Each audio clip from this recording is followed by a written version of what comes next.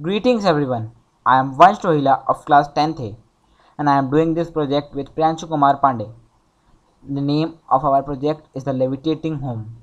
The sub-theme of our project is disaster management and mentor of our project is Miss Mamta Thakkar Material used in our project is Arduino Uno, jumper wires, connecting cables, air compressor, cardboard and a wooden slab. Effects of earthquake on a house.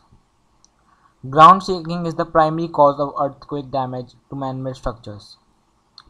Many factors influence the strength of earthquake shaking at a site including the earthquake's magnitude, the site's proximity to the fault and the local geology.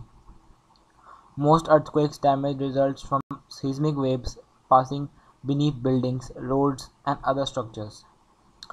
This leads to loss of life and damage of properties.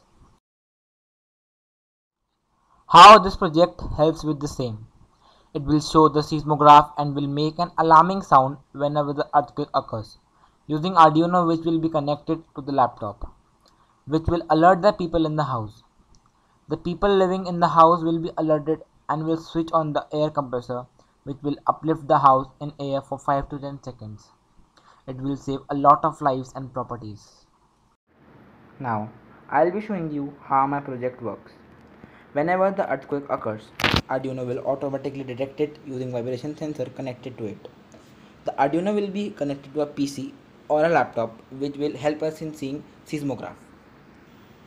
We will be able to see the seismograph using code.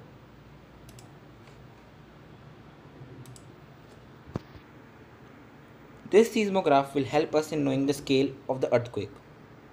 If the scale will rise, you will automatically switch on the air compressor button which will levitate the house and save many of lives.